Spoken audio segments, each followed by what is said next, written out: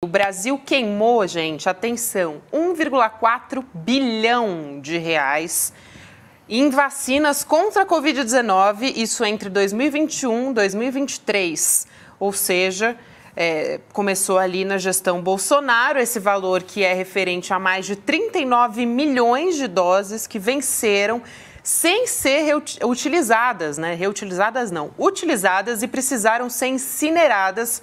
Isso são dados do governo que foram publicados pelo site G1.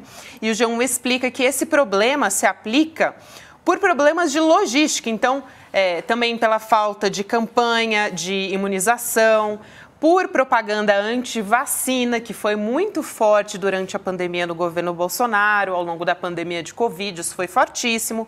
Ou seja, ao longo do governo Bolsonaro, que demorou para comprar, é, distribuir doses e fez campanha contrária, né? Não é que não o fez te, campanha. O tempo inteiro. Não, e a logística estava na mão do general Pazuello, então vê isso. Isso. É, você falou da, da, de vacina, é, outro dia também eu vi, e como é um assunto que me interessa, minha filha tem diabetes tipo 1, é, o, o, eu vi também que o governo Bolsonaro desperdiçou 15 milhões de canetinhas. Canetinhas é, é, são as canetinhas de insulina que se aplica ali Isso. na hora da. 15 milhões? 15 milhões, na hora de, que, a, que a glicemia está alta.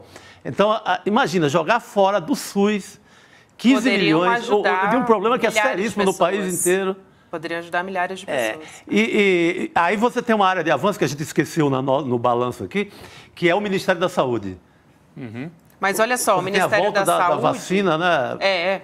É, a gente vai trazer isso também, inclusive, Sim, boa. Chico. Boa que você falou agora. O Ministério da Saúde disse para o G1 o seguinte: que herdou um estoque de mais de 157,9 milhões de itens de saúde a vencer até o mês de julho, o equivalente a 1,2 bilhão, um pouco mais de 1 bilhão de reais. Aí a gente tem os números de vacinas contra a Covid-19 que foram queimadas.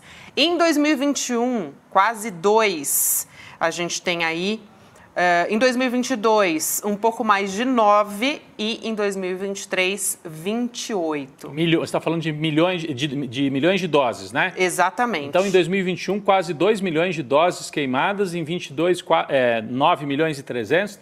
Está na tela, né? Para quem está tá assistindo, tela, exato. está só é, nos ouvindo. As pessoas que estão ah. só ouvindo agora é legal olhar aqui na tela para ver o nosso gráfico mostrando o número de vacinas que foram queimadas. Meu Deus do céu. A gente teve essa herança de Jair Bolsonaro da pandemia, mas é muito assustador é o muito volume assustador. de vacinas que é, se perde, é, né? É.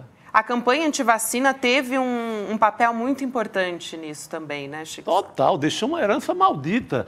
É, sorte que com, com a, o novo Ministério da, da, da Saúde, a gente conseguiu recuperar um pouco isso. O Brasil já voltou a vacinar mais, muito mais do que, do que vacinava, e a gente saiu daquele negacionismo, daquela história de virar jacaré com vacina. E isso deixou uma. Isso é, talvez seja, seja a pior herança do bolsonarismo. Deixar uma descrença na, na ciência, na saúde, né? Isso foi terrível. E, eh, mas isso, é, acho que você falava um pouquinho antes, né? Uma das. Uh, um, dos pontos positivos aqui nesse, nesse ano foi, foi que o Brasil voltou a subir né, a quantidade ah, de a gente tem os números, Sim, é, inclusive. Exatamente. Então... A gente teve um aumento da vacinação infantil, Rodrigo. A gente tem os dados a respeito disso. Vou pedir para Gabriel Vento colocar aqui na nossa tela. Olha só entre 2023 e 2022 subiram os números. Está vendo? A gente teve um aumento de 7,8% da vacinação de DTP, poliomielite em segundo lugar, hepatite A, febre amarela, a pneumocócica, que é bastante importante também, essa vacina infantil, a tríplice viral, a primeira dose que a gente está contando, a meningocócica e também a tríplice viral, a segunda dose, né? A gente tem a primeira e a segunda dose no, também nessa tabela aqui de aumento da vacinação. É, é muito importante esse aumento na cobertura dessas vacinas. A gente está falando aqui de vacinas em bebês de até um ano. Então, a gente está tá revertendo uma tendência de queda na vacinação, que vinha desde é, 2016. Essa é uma grande vitória também do, do, do, governo. E a gente tem que ressaltar que essa área uma, é uma área de cobiça eterna do Centrão. O Centrão tentou, de todas as formas, é, é pegar o Ministério da Saúde. a doutora Nízia sofreu o diabo politicamente esse ano para se segurar no cargo, porque é, Arthur Lira e, e, o, e, o, bando todo, assim, qualquer vacilo, ele, qualquer vacilo político eles tomariam.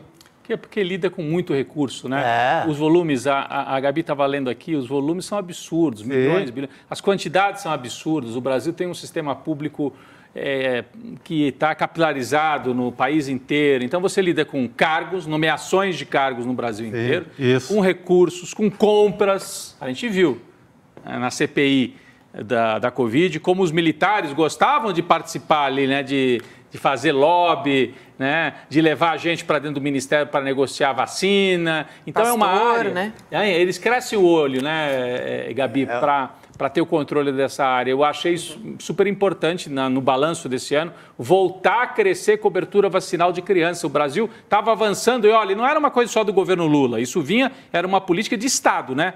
Vinha, há muitas décadas já o Brasil vinha melhorando.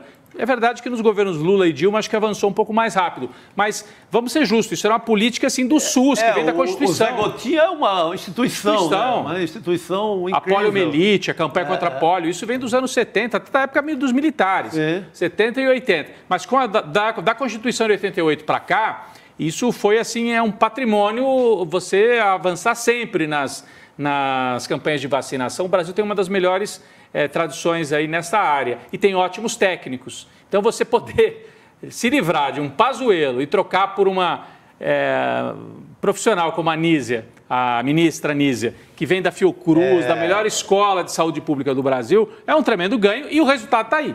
Voltou a crescer a cobertura vacinal.